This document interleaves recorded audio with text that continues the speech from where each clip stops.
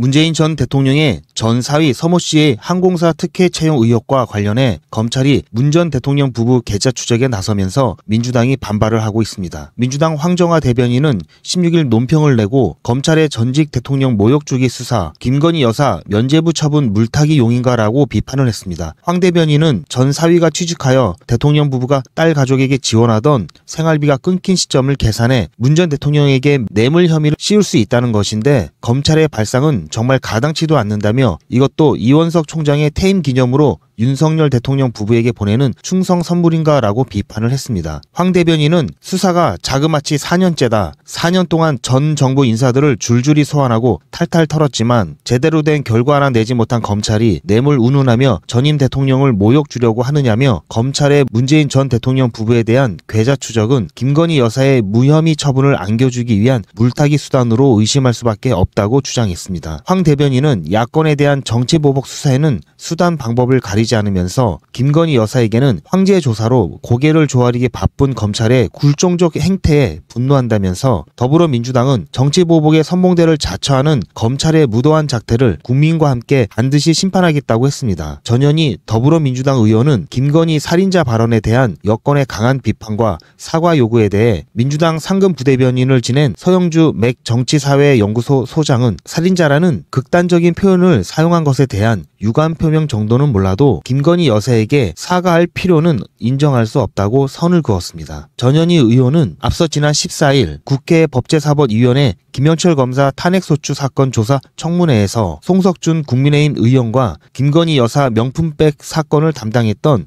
권익위 국장의 극단적 선택 책임 소재에 대한 설전을 벌이다 김건희가 살인자다, 김건희 윤석열이 죽였다고 말해 국민의힘과 대통령실의 강한 반발과 성토를 받았습니다. 이와 관련 18일 방송된 민방 공동기획 토론 프로그램 국민마스에 출연한 서영주 소장은 저도 그 청문회 장면을 봤는데 송석준 의원이 좀 고약하게 도발을 했어요 라며 그러니까 사실은 전 의원이 발언이 맞죠 라고 주장을 했습니다. 김건희 여사가 그 300만원짜리 명품 디올백 을 받았는데 그걸 권익위가 아무 문제가 없다 받아도 된다라는 결정을 내리는 과정에 25년 동안 권익위에서 본인의 모든 삶을 걸고 부패 방지 업무를 했던 분이 그것을 말을 못하고 양심의 화인을 맞은 거죠. 말하자면 심리적인 살인을 당한 거예요. 그러면서 극단적인 선택을 한 것이라는 게 서 소장의 주장입니다. 서 소장은 그러면서 본인이 도저히 납득할 수 없는 상황 속에서 자괴감이 죽음에 이르게 했다. 김건희 여사가 그 명품백을 받지 않았다면 대통령 부인이 아니었다면 과연 이런 결론에 도달했을까라며 그렇게 따지면 대통령과 대통령 부인, 대통령실은 이 권익위 국장의 죽음에 대해 최소한 유감 표명은 해야 된다라고 나를 세웠습니다. 본인에 대한 살인자라는 말에 대해서는 그렇게 기분이 나쁘면서 어떻게 본인이 책임질 일에 대해서는 책임을 지지 않는지라며 그렇기 때문에 저는 김건희 여사에 대한 적절한 사과까지는 인정할 수가 없다. 유감 표명 정도면 충분하다라고 거듭 선을 그었습니다. 송석준 의원이 권익위 국장의 죽음에 대해 권익위원장을 지낸 당신의 책임은 없냐는 식으로 도발하니 거기에 대응하다 거친 언사가 난 것이다. 김건희 여사한테 사과할 일은 아닌 것 같다. 살인자 표현을 한 것에 대한 유감 표명 정도면 충분하다는 것이 소장의 말입니다. 인사 참사가 계속되고 있습니다. 회사 돈, 나라 돈을 쌈짓돈처럼 쓰는 도둑들이 너무. 많습니다. 이럴 때일수록 돈을 벌어야 합니다. 투자를 해야 합니다. 러시아 우크라이나 전쟁은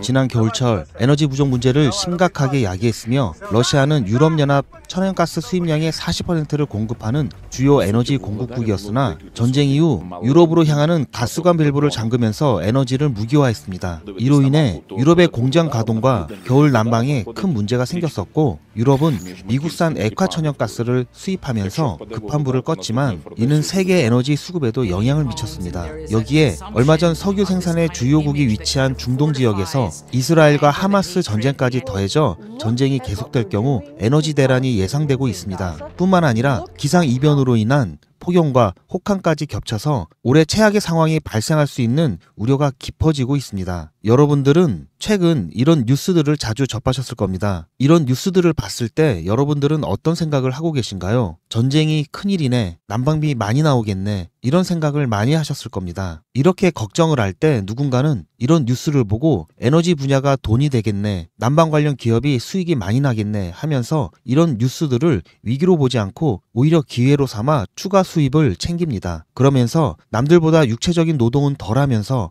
더 여유로운 생활을 하게 됩니다. 밖에 나가면 수없이 많은 건물들의 건물주가 있고 고급 외제차들은 왜 이리 많은지 경제가 어렵다는데 명품 매장은 사람들이 넘쳐나고 동네 식당에서는 음식값 천 원을 올리면 손님들이 끊기는데 몇십만 원씩 하는 고급 식당들은 장사가 더 잘 되는 세상입니다. 돈이 돈을 버는 세상이라고 합니다. 그래서 금융 투자를 해야 합니다. 금융 투자는 돈 많은 사람들이 하는 게 아닌가요? 절대 아닙니다. 돈이 많아야 하는 대표적인 투자는 부동산 투자입니다. 소액으로도 할 수 있는 대표적인 금융 투자가 바로 주식 투자입니다. 선진국들은 부동산 투자보다 금융 투자가 더 활성화되어 있습니다. 그래서 노후 빈곤 문제가 우리나라보다도 훨씬 적게 나타나고 있는데요. 육체적인 노동이 필요 없기 때문에 정년도 없고 종목 선정만 잘한다면 10만 원을 갖고도 한 끼 밥값 정도 수익을 올릴 수 있고 100만 원을 갖고도 하루 일당을 벌 수 있습니다. 물론 위험이 없는 투자는 없습니다. 하지만 회사가 망하지 않는 이상 주식으로서의 가치는 남아있고 조금 손해를 볼 수 있지만 언제라도 현금화가 편리한 상품입니다. 하지만 뭘 보고 어떻게 투자를 해야 할지 막막하실 겁니다. 올해는 AI, 전력 부족에 관한 뉴스들이 많았습니다. 여기 보시면 아시겠지만 이분처럼 저한테 뉴스라고 문자 보내주신 모든 시청자분들께 AI, 전력, 그리고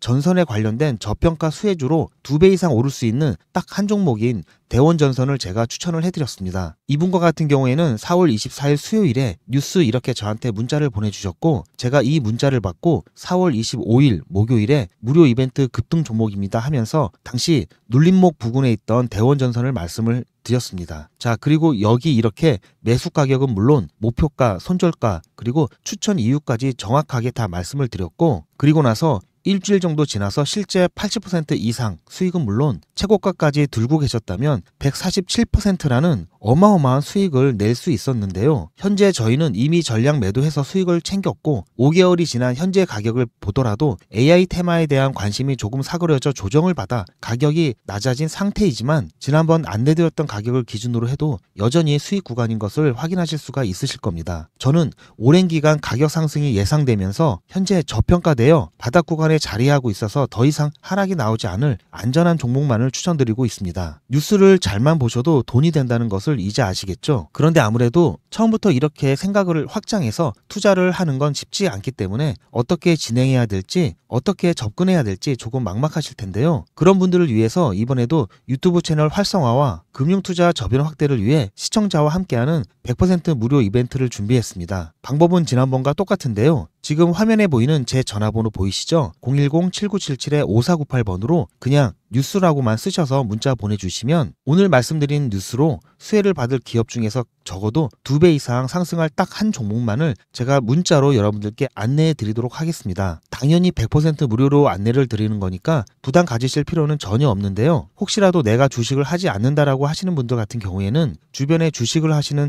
친구분이나 아니면 지인분들 그리고 무엇보다도 소중한 자녀분들에게 이 종목 한번 사봐라 어떤 뉴스 때문에 이 종목이 두 배 정도 상승할 것 같다 라고 조언을 해주시면 몇십만 원, 몇백만 원짜리 선물을 해주시는 것보다 훨씬 더 가치 있고 고마운 선물이 될 겁니다. 자, 그래서 지금 이 영상을 보시는 시청자분들 중에는 이 종목이 뭔지 나도 이번엔 좀 궁금하다 하시는 분들은 누구라도 상관없이 그리고 어느 시간대건 상관없이 지금 상단에 보이는 제 전화번호 010-7977-5498번으로 뉴스라고 쓰셔서 문자 보내주시기 바랍니다. 자, 그럼 이런 식으로 제가 이때 이분들께 보내드렸던 것처럼 이번 뉴스에 수혜를 받아 급등 가능한 대장 종목 딱 한 종목만을 보내드릴 겁니다. 아시겠죠? 무료로 종목 받아보시고 난 다음에 단돈 만 원이라도 수익을 직접 내셔서 아, 뉴스가 정말 돈이 되는구나 라는 걸 경험해 보시길 바랍니다. 아, 그리고 저한테 수익 내서 고맙다고 사례하고 싶다고 하시는 분들도 많이 계시는데요. 어, 저는 진짜 그런 거 아무것도 필요 없습니다. 다만 우리 시청자분들께서 제 문자를 받아보시고 수익이 나시면 기분이 좋아지시겠죠? 그 기분 좋은 마음 그대로 제 채널에 다시 한 번만 방문해 주셔서 구독과 좋아요 한 번씩만 꼭 눌러 주시길 부탁드립니다. 문자 많이 많이 보내주세요. 감사합니다.